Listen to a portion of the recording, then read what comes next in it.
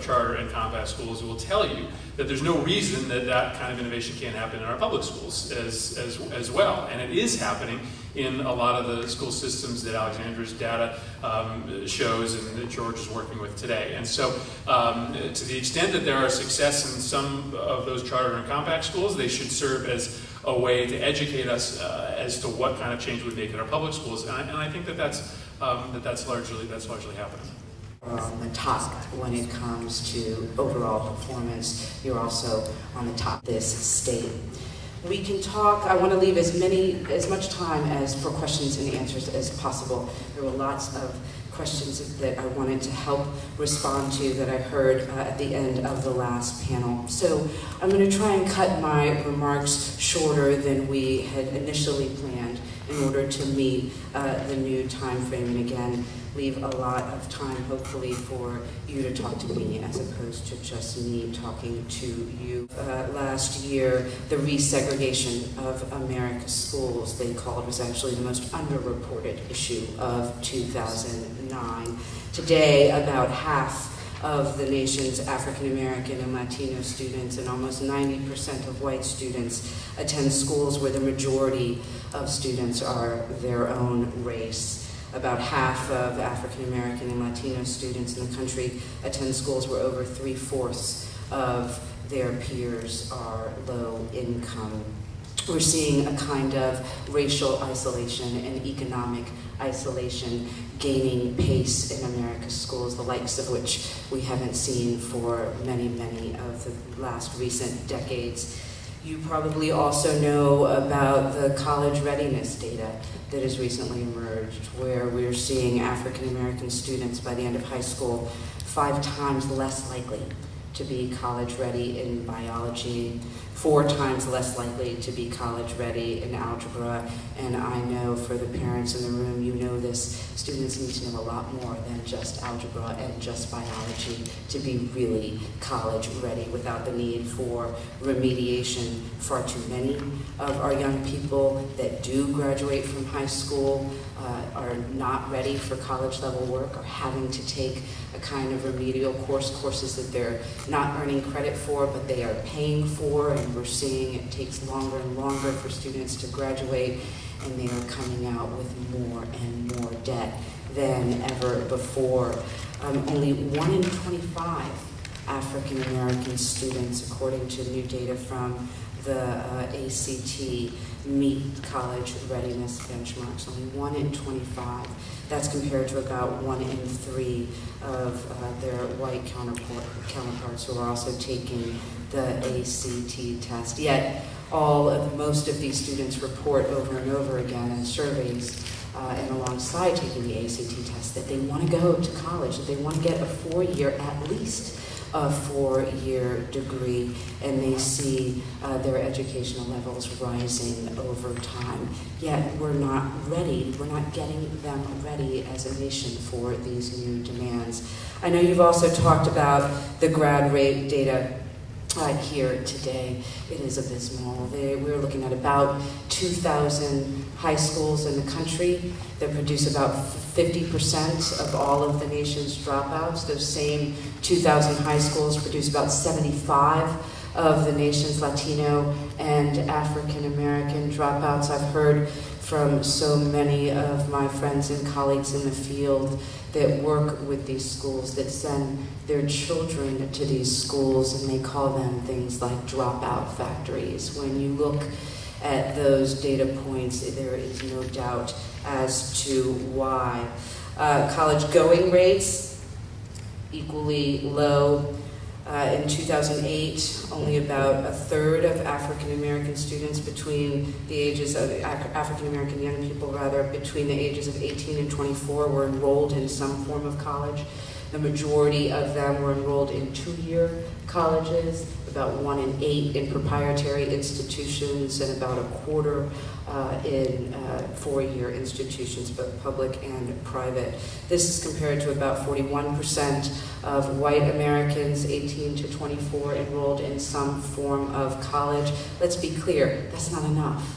Again, if we're to regain our status In this competitive and interconnected global marketplace, our students need to know more than ever before, and this is true of all races. Connecticut, you know these data. White students here are about five times more likely to be in AP Science than their African American counterparts. They're about three times more likely to be in AP Math than their African American counterparts. Access is important for all students. As we are rising the bar for everyone, we have to make sure that we close those pervasive and pernicious achievement gaps that underlie these numbers. Now, the very good news in uh, Connecticut in particular is that you, while your graduation rate is higher uh, for African American boys than in most other states, you're looking at about 13% higher graduation rate than the national average.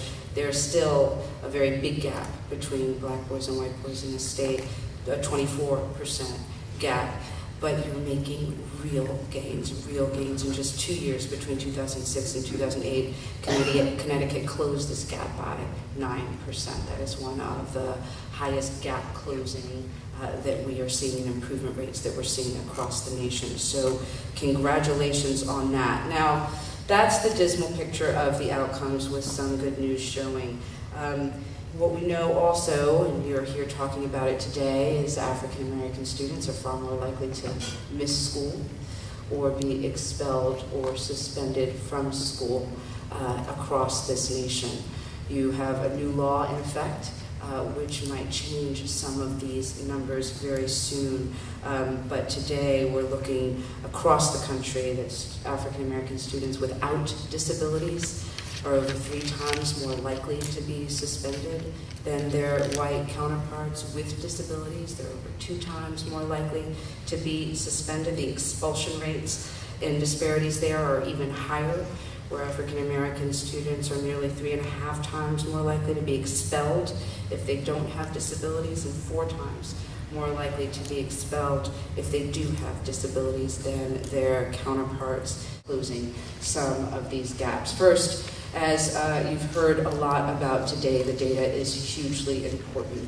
And while I recognize, as our young high school graduate said, that data it doesn't tell the complete picture, right? It can help paint a portrait of what happens to students as they journey from pre-kindergarten to college and beyond, but it will not tell us all of the answers. That said, we need much more robust data to really get a handle on this problem. We have transformed the civil rights data collection long uh, since referred to by many as the place to go if you want equity data in this country. It's a biennial survey conducted by the Office for Civil Rights. This year we have added lots of new indicators, new indicators on access to college preparatory courses, on when students get algebra and pass it, on uh, access, uh, on data about uh, money and where it's spent, instructional and non-instructional school uh, expenditures at the school source level. We're collecting data about teachers that we've never had before, and we are collecting data about discipline that we have never, like we have never had before. We are uh, now collecting data not just on the number of suspensions and expulsions, but we want to know about in-school suspensions. We want to know whether students have been suspended more than once. We want to know whether they're getting educational services during their suspensions uh, or they are not. We want to know whether students are being suspended under a zero tolerance policy. We want to know about referrals to law enforcement. We are hearing anecdotes across this country. I know you've talked about some of them today, where even the youngest of children are being sent uh, to law enforcement to deal with what many educators have referred to as common and normal and natural disciplinary problems, closing some of these gaps. First, as uh, you've heard a lot about today, the data is hugely important. And while I recognize, as our young high school graduate said, that data it doesn't tell the complete picture, right? It can help paint a portrait of what happens to students as they journey from pre-kindergarten to college and beyond, but it will not tell us all of the answers. That said, we need much more robust data to really get a handle on this problem. We have transformed the civil rights data collection long uh, since referred to by many as the place to go if you want equity data in this country. It's a biennial survey conducted by the Office for Civil Rights. This year we have added lots of new indicators, new indicators on access to college preparatory courses, on when students get algebra and pass it, on uh, access, uh, on data about uh, money and where it's spent, instructional and non-instructional school uh, expenditures at the school source level. We're collecting data about teachers that we've never had before, and we are collecting data about discipline that we have never, like we have never had before. We are uh, now collecting data not just on the number of suspensions and expulsions, but we want to know about in-school suspensions. We want to know whether students have been suspended more than once. We want to know whether they're getting educational services during their suspensions uh, or they are not. We want to know whether students are being suspended under a zero tolerance policy. We want to know about referrals to law enforcement. We are hearing anecdotes across this country. I know you've talked about some of them today, where even the youngest of children are being sent uh, to law enforcement to deal with what many educators have referred to as common and normal and natural disciplinary problems. Reporting began a few months ago. We have 6,600 school districts complying that are asking really hard but good questions about the way they've been reporting the data in the past and uh, their desires to be much more accurate uh, than they had, not guess anymore about what happens to students. Now, it's not just about data through the civil rights data collection. We have lots of other ways to collect good data.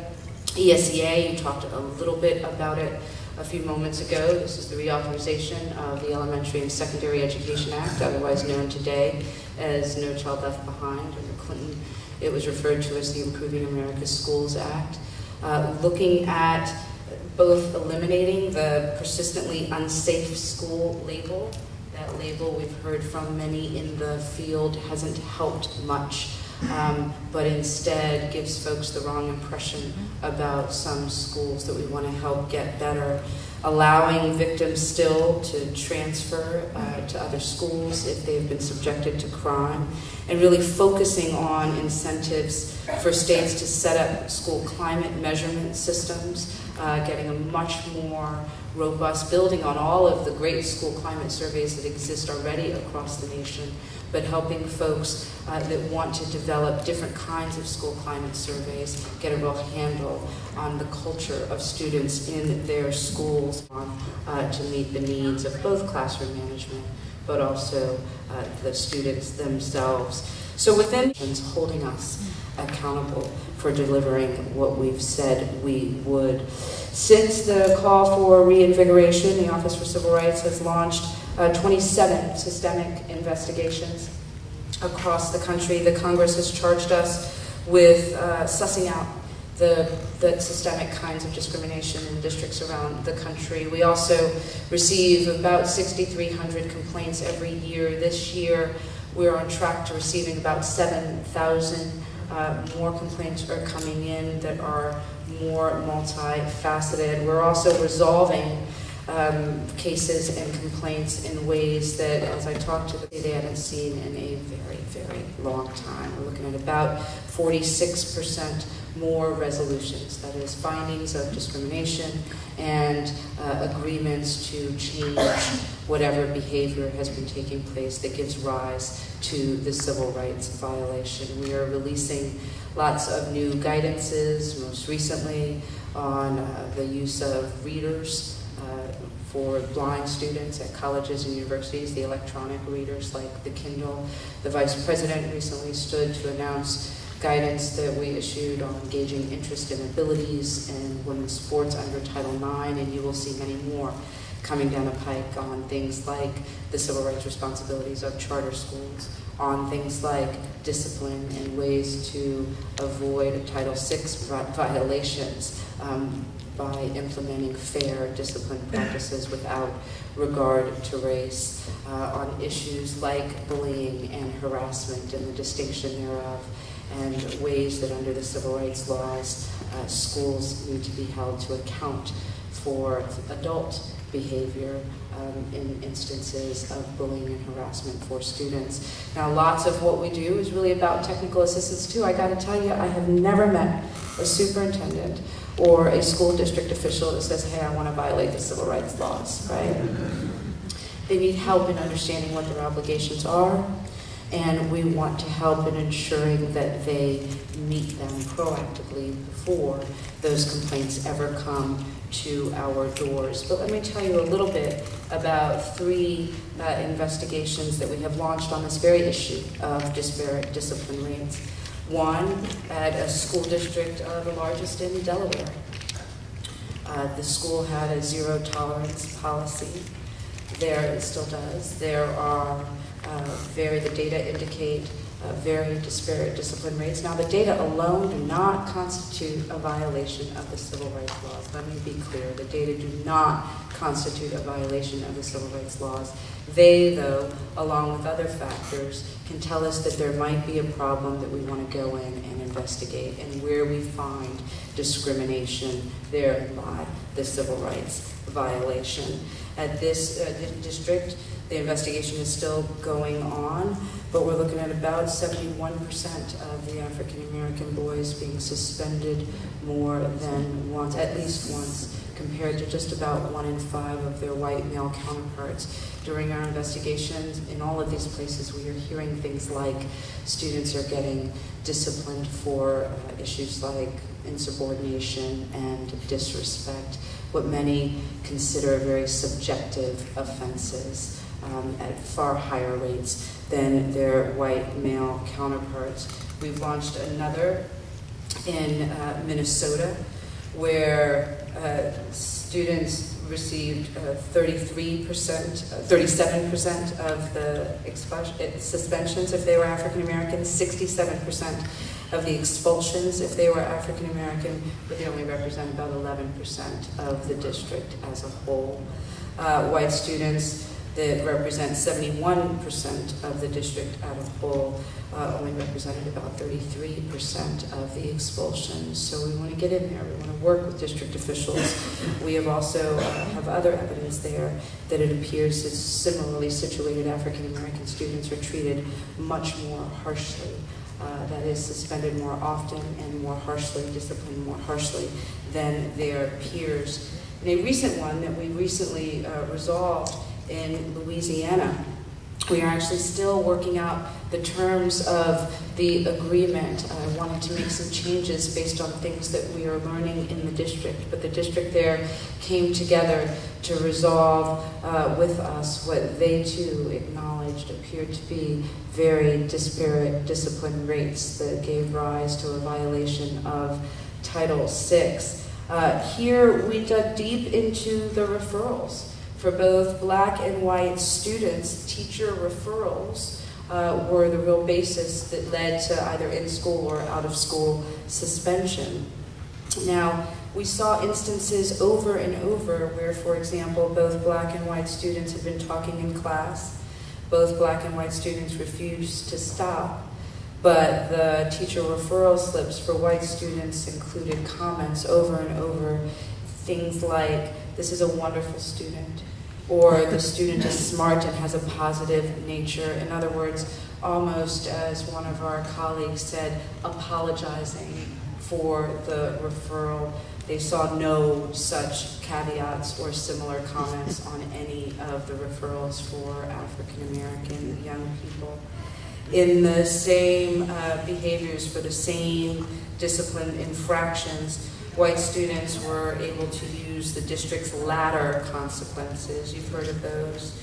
That's where students and parent conferences are encouraged and allowed and recommended before any disciplinary action takes place. African American students did not enjoy the benefit of such ladder consequences. We our investigation revealed that African American students were not given any of those ladder or gradual and progressive uh, consequences. They often received one to two days detention without any interventions or supports, unlike their counterparts for the exact same, if not very similar offenses. Um, and then we also found that for white students that had been cited for previous disciplinary incidences, they had not been punished uh, for those or their prior offenses. So it's those kinds of data that we are looking at at the granular level, and then of course it's helping uh, the district and school faculty understand what gave rise to the civil rights violation and how to fix it most importantly. What we realized in this particular district is the discretion afforded to teachers, even outside of the principal's purview, um, led to lots of the disparities and the civil rights violations. So helping those teachers understand what happens at the referral process, even just helping them understand the data. Lots of them, this stuff happens every day. It's a way, it's almost a classroom management tool. They didn't recognize the pattern in practice that had been established. We're quite upset, as we've heard, that they were contributing to a civil rights violation by making visceral decisions uh, without much thought. And what their rights are, that there are notification and grievance procedures, and that we will, we really want to make sure that whatever is giving rise to these civil rights offenses never happens again. So we are thinking about remedies in a very robust, long-term, and sustained and meaningful way, and then monitoring so that promises made are in fact promises kept. Uh, I could go on and on about some of the cases that we are seeing and the kinds of resolutions we are hoping to develop, but let me cut it here so we can really get to some time for questions and answers, and you can always uh, follow up with me afterwards. You, you share the same sense of urgency. I know that we do in the administration. Um, we don't have any time to waste or lose if we're truly to transform the way our schools work for the betterment of our young people, for the betterment of our country. The data, as I've talked about, are foreboding, and I'm sure you know that we're looking at about 23% of all young black men that drop out of high school going to jail, prison, or juvenile uh, or juvenile institute. So this idea that we have a paradigm in this country that is a cradle to prison pipeline for so many of our nation's young people is real. We need to flip that so that it becomes a cradle to college and a cradle to career. And it is only with the kinds of tough conversations that you're having today, the kinds of courage exhibited by your policy makers and the congressmen that we are going to do it at a pace that our children deserve. Thank you very much.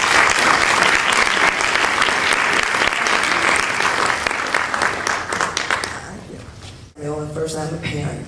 I'm also the co-founder of the State of Black Connecticut Alliance and also a great program in Meriden, the Meriden Kids Walk Safe, Safe Routes to School. One of the top 10 schools identified through ConnCAN and the second highest performing school in its district, in the whole district.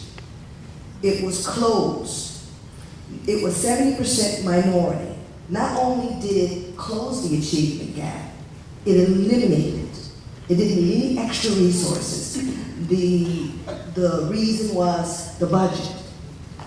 But what was concerning is when they started to disperse the kids, they dispersed the kids in low performing schools. And then as parents started to come together, they weren't a part of the conversations. And then there's still no rationale to why we would close a high performing school in the state that has the worst achievement gap, 70% minority, 30% English language learners. So eventually the parents, um, one of the attorneys was in the, in the audience, Attorney Josephine Miller, so we filed a complaint with the Office of Civil Rights. Office of yes, great people. They came down. They asked the superintendent, which was cost effective, to mediate. They said no. But because the Office of Civil Rights doesn't have any power to do anything, here we have a cost-effective way to let's mediate, let's come together, let's reason, what can we do? What are some alternatives? I mean, teachers were being penalized for trying to help save the school. People were in trouble with the State Department of Education for trying to help to save a school that eliminated it. Wasn't any in disarray, so it just floored me. And then we worked with the West Haven parents. Parents are in the process of doing a referendum, trying to get 1,400 signatures just to bring it back up to vote. But now the school is, is closed. Parents just got a note yesterday, let's see, uh, a day ago. School start next Monday. They just got the note of where their kid is going. And then they're not even, of them not even Title I schools. So that means the supports that were in a high-performing school to support the academic success of the child are no longer in existence. And we were told by the State Department of Ed, well, we have to see how it works out, where they're dispersed before maybe we can do something about it. But, but I'm, I'm asking the Civil Office of Civil Rights if we can look at a national level of how districts make decisions to close schools. Because it, it goes contrary to No Child Left Behind. That's number one. And Okay, so before we get to sorry. number one, let's try I'm sorry. before we get to number two, let's try to talk about it, okay? Um, I'm not going to the Office for Civil Rights, and we're going to respect the privacy of Oh, all of those parties uh, as we continue to investigate the case. That said, the reasons that school districts choose to close schools, budgetary declining enrollment among them, low performing among them. The school closure itself uh, unless it is a proxy for discrimination, and that's a little wonky term, how we uh, define proxy under the test for Title VI violations. The school closure itself is rarely, uh, if ever, uh, a civil rights violation. But you're right to want to know what happens to those students, to pay special attention about where they go, and to ensure that they are in fact better served by the decision and not worse off.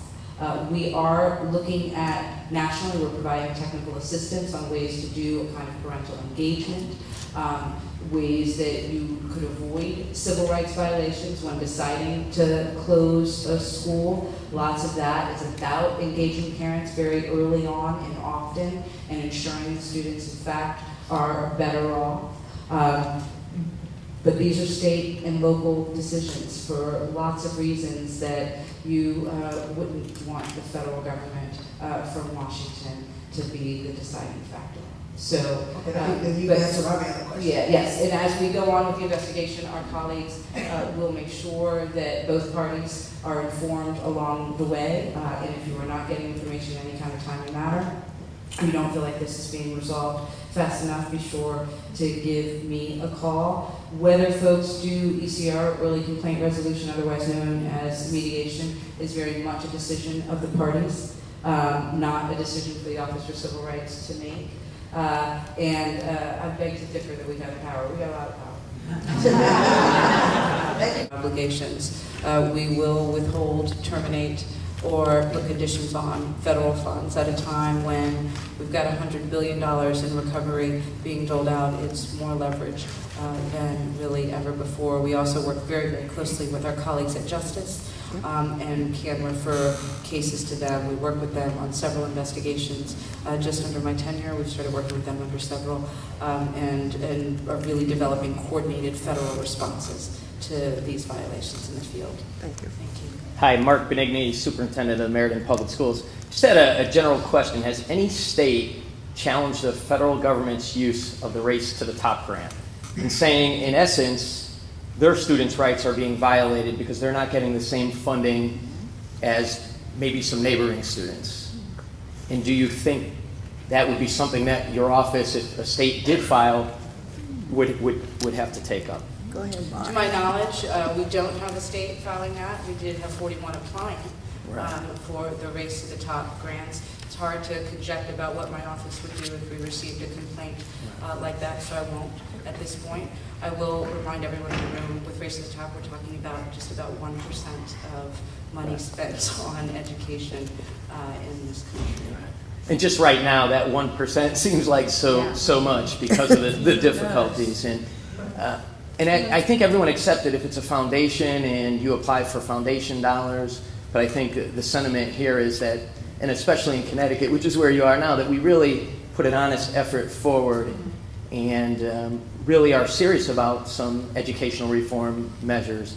And then to have it, judged and, and sent back, it doesn't change the fact that the work we've done is valuable moving forward, but it is discouraging and it's set up a competitive environment. And I don't think we should be competing, having our kids' futures. They're not involved in the decisions that we make. They're not today of school discipline. Um, I think it's a, a, really interesting question about if we have these best practices. We know it's one of the last questions for the final panel. We know uh, what works, um, and we're interested, those of us that care about this issue in Washington, about incorporating that into No Child Left Behind. Um, I'm sure there's going to be a lot of trepidation about how that's done, and as to whether that gets added as a unfunded mandate on schools as a simple requirement um, of receiving Title I funds, whether that becomes a punitive measure whereby if you don't uh, uh, follow best practices, you don't get money, or, or whether it's a competitive grant. Um, which comes with some trepidation, as you heard from the superintendent, whereas if you follow certain things, then you'll get extra money. Do you have sort of any sense at this point within the department about, um, and I know there's been a blueprint that's come out already, about um, how we would incorporate uh, some of the things we know we want to do on school discipline, how we might incorporate that in No Child Left Behind's reauthorization. Thank you for that, Congressman.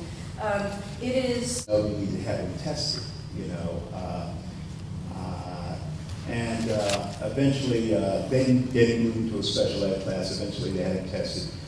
And uh, I'm just wondering if, in fact, he was put in a special ed, would he be where he is today? Today, my son's a medical doctor, board certified MD. My point is, my point is, is that I'm wondering how many other children fall into that same category, okay, where the system turns around and says, okay, we, he's acting up in class, and there may be some other factors that are not necessarily related to uh, behavioral. You know, might be some other issues at home or that are not directly related to his behavior. And obviously, if, if a child sees something, if something is going on in home, uh, he may mimic it in class to some degree. Children operate on model behavior a lot of times. So um, I'm just wondering the number of particularly African American males that are in special ed. You had some data, and I'm just wondering if you have some data with regards to that. Uh, I don't provide students that uh, need extra supports there are also far too many of the tragic stories where students uh, go into these programs and languish um, and don't get what they need to succeed. So uh, it certainly should not have taken a Herculean parent to do the right thing, but congrats to you and your family for getting it done. Just want to say one thing. Sons is that they could be anything they want to be if they put their mind to it. Another thing, too, is that I've always tried to give them a level of cultural self-esteem, and I think that's clearly what's missing within regards to the school system. We have a black president, we don't have black history in the school system. You know, so, I mean, there's a lot of things that, that, are, that are needed to bring our children up to a level of social and academic understanding. Okay? So I, I think that's critical in terms of their holistic being. Yes, no doubt. And uh, obviously the voices of young people and their parents into this education conversation on the state and local level. And we are thinking about ways of collecting uh, data about their schooling experience, like discipline at scale. As I mentioned, we're already doing civil rights data collection for lots of them. Um, and I too want to when when special ed is done right, students get what they wouldn't have gotten otherwise, and it's hugely uh, important. I remember uh, I wasn't in this position when NCLB was uh, reauthorized back in 2001, but I was an advocate on the outside, and those that were most in support were uh, parents of children with special needs that were saying, finally, we get the same expectations too. Finally, all really does mean all, and that is one of the most beautiful principles that stemmed from No Child Left Behind and one that we will hold the line on absolutely.